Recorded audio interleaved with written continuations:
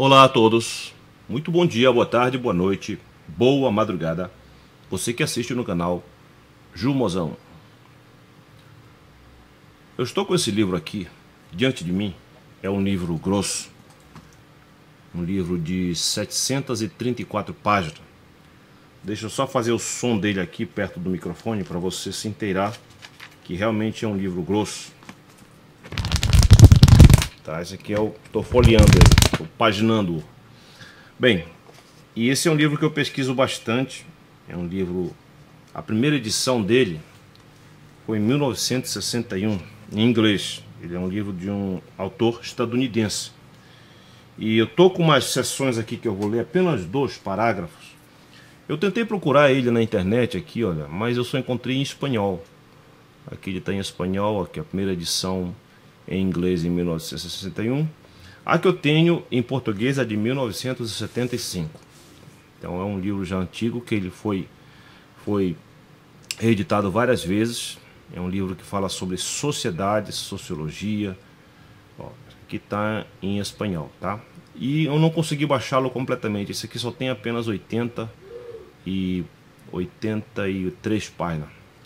Ele é um livro de 734, então faltam muitas páginas aqui nesse PDF. Se você souber dele por aí de alguma forma para baixá-lo, eu lhe agradeço. Bem, então é um livro que eu leio continuamente. Eu me interesso sobremodo do comportamento humano quando a pessoa está sozinha e quando ele está é, em sociedade, quando ele está junto com outras pessoas. Eu, me, inter... me... eu procuro me interessar para saber das reações das pessoas, da minha reação então é muito importante a gente ter um, uma compreensão do conhecimento do tecido social, aquela parte visível da sociedade. Então, quando a gente fala em tecido social, nós estamos falando daquela parte que, que está a visão de todos. Então, todos podem estudar, todos podem observar, não tem problema. E existe o, a parte inferior, a parte do subsolo, a parte essa também é estudada. Há certo material dessa, desse estudo da parte não visível da, da sociedade. E cada vez ela vai mais para o fundo também, existem estudos. Só que nem tudo está ao nosso alcance. O que está ao nosso alcance é esse desse livro aqui que eu estou mostrando para vocês. Está aqui, ele é bem grossão, tá?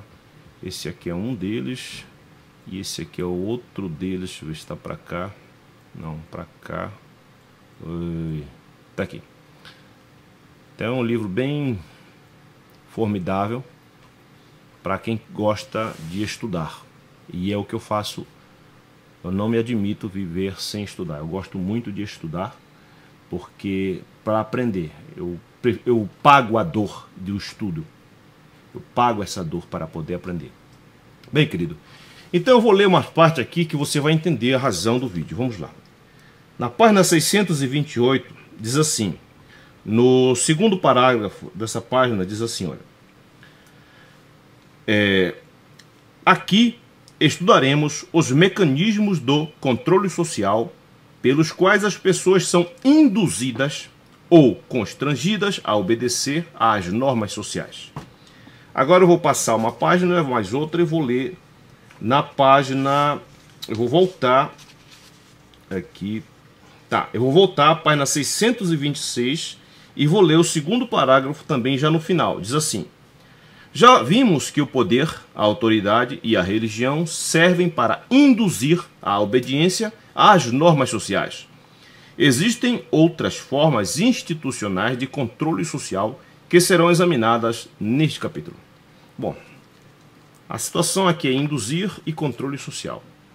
Você sabe muito bem que o ser humano estuda o ser humano.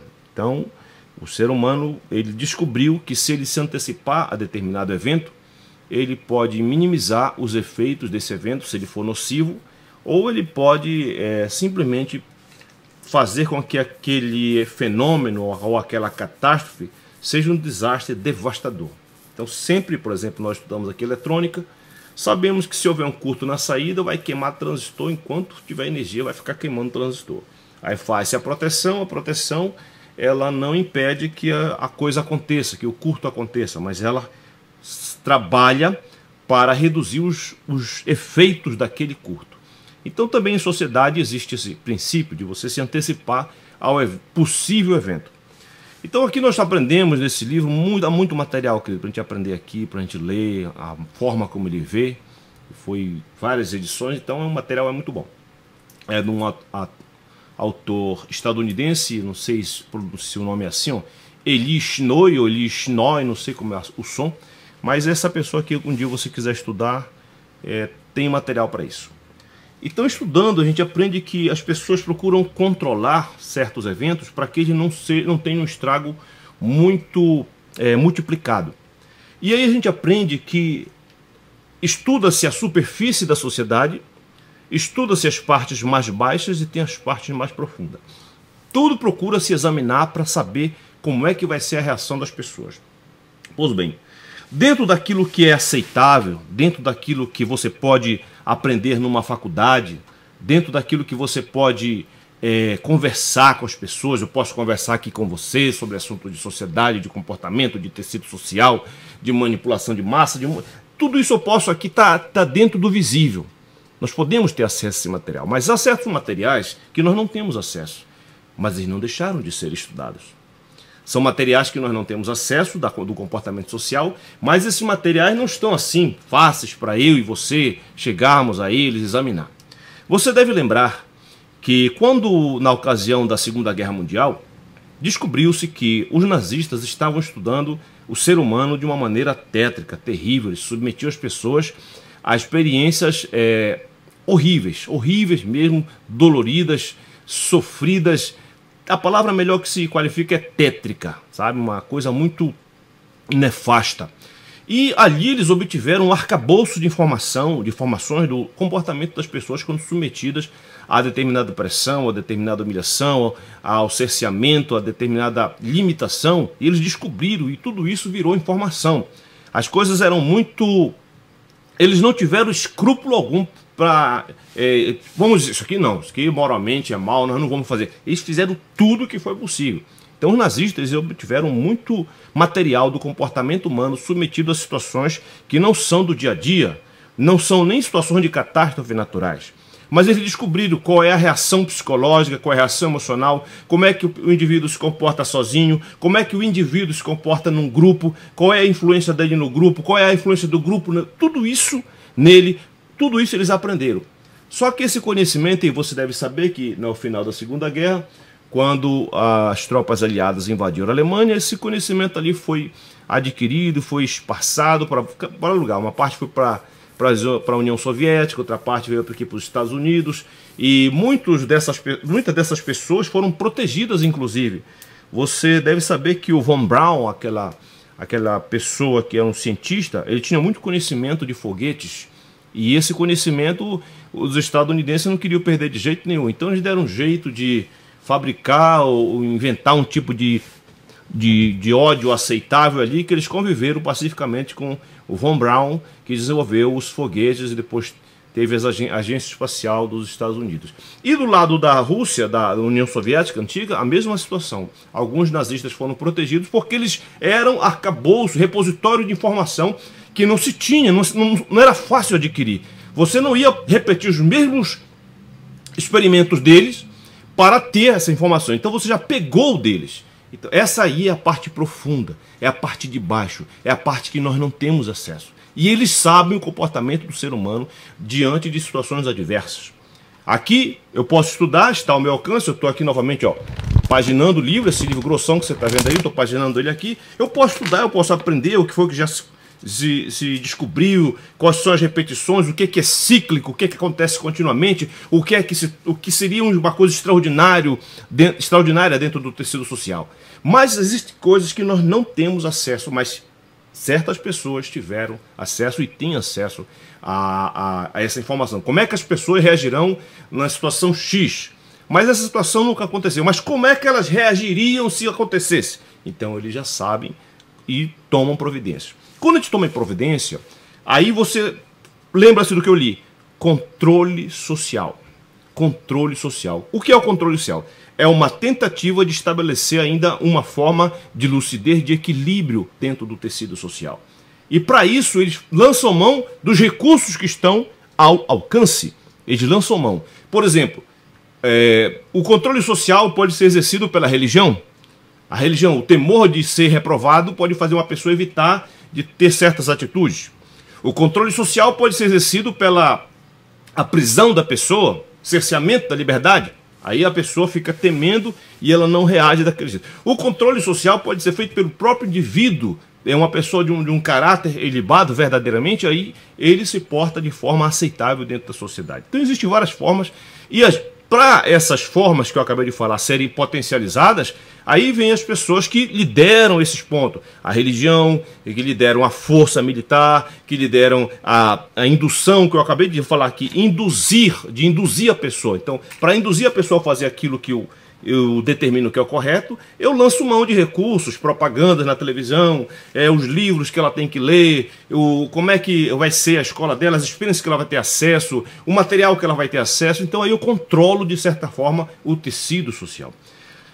Pois bem, até aí tudo claro, sem problema. Mas nós estamos diante de uma situação que a gente tem visto, não tem sido possível esconder, essa forma de controle social aqui. Deixa eu mostrar aqui para vocês. Eu vou ler aqui uma reportagem aqui. Preste atenção nessa reportagem aqui. FEMA, você sabe o que é FEMA? FEMA é aquela agência estadunidense capaz de tomar o controle de tudo em momentos críticos, que oficialmente ela é para isso, no meio de catástrofe, no meio de desastres naturais, ela toma a frente e resolve o problema porque ela tem pessoas experimentadas e com, que compreendem como é que serão, as, como é que as massas reagirão diante de tragédias, diante de situações inusitadas e inauditas ela é para isso. Entretanto, é, com o evento do furacão Katrina, ela não fez absolutamente nada. Ela simplesmente não funcionou, não prestou para nada. Aí descobriu, peraí, ela não é para isso? Por que ela não foi útil naquele momento mais importante?